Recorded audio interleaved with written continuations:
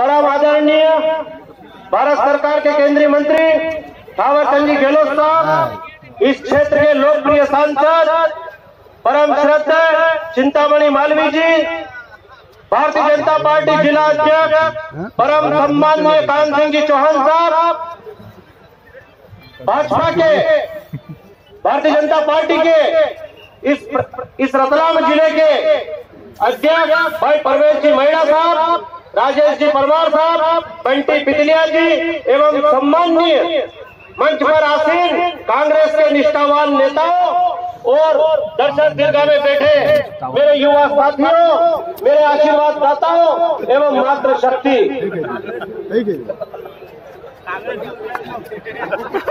देखो, ऐसा है कि मेरे आठ दिन हुए माफ़ी चाहता हूँ गलत बोल तो मुझे आठ दिन भाजपा में आए माफ़ी चाहता हूँ।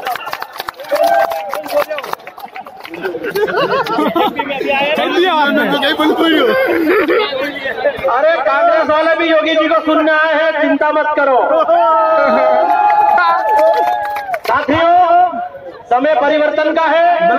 एक है। इस प्रदेश के अंदर एक काम हुआ करती थी इस प्रदेश में हुआ करते थे हम सबको मालूम था सड़क और बिजली की हालत क्या थी?